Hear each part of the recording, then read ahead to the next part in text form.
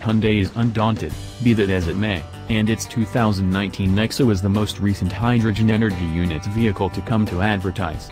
Similarly as with the two other principal hydrogen-filled vehicles available, the Honda Clarity and the Toyota Mirai, the Nexo is just accessible in select locales in California. Be that as it may, it presents two or three preferences.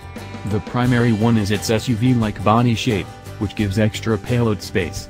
Hyundai likewise fits the Nexo with a lot of upscale highlights, including a major 12.3-inch.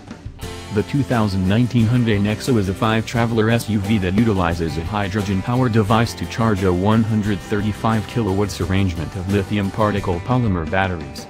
These batteries control a solitary electric engine, 161 strength, 291 pound-feet of torque.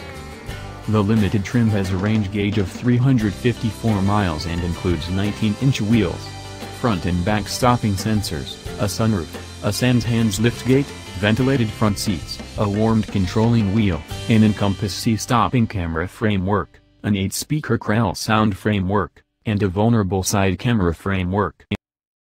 Yeah.